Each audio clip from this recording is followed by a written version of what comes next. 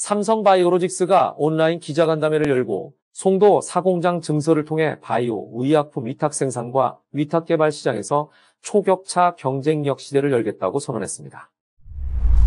김태한 삼성바이오 사장은 고객사들의 공급 요청과 더불어 바이오 의약품 시장의 성장 속도, 글로벌 제약사들의 CMO와 CDO 비중이 빠르게 증가하고 있는 추세를 감안해 사공장 증설 계획을 최종 확정했다고 설명했습니다. 송도 사공장 건설에 따른 총 투자 금액은 1조 7,400억 원입니다. 완공 시 생산 규모는 25만 6천 리터로 단일 공장 기준 세계 1위에 올라 삼성바이오 제3공장이 가지고 있던 종전 기록을 스스로 갱신하게 됩니다.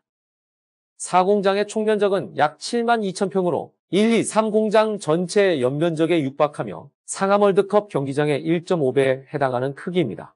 삼성바이오는 기존 공장을 통해 축적한 기술을 집약해 세계 최고 효율의 친환경 바이오 의약품 공장을 구축할 계획입니다.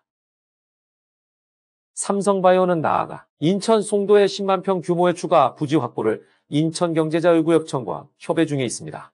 추가 건설 부지를 확보하는 한편 바이오벤처 육성 공간인 오픈이노베이션 센터도 설립합니다. 또 연구개발 및 분석 서비스 시설도 구축해 바이오 기술 개발 기능을 더 강화할 예정입니다.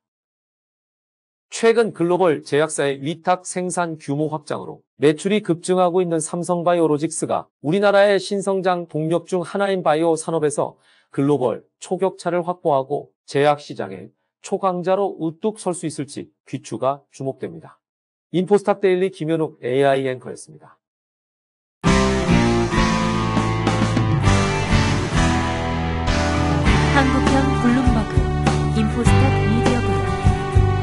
Diablo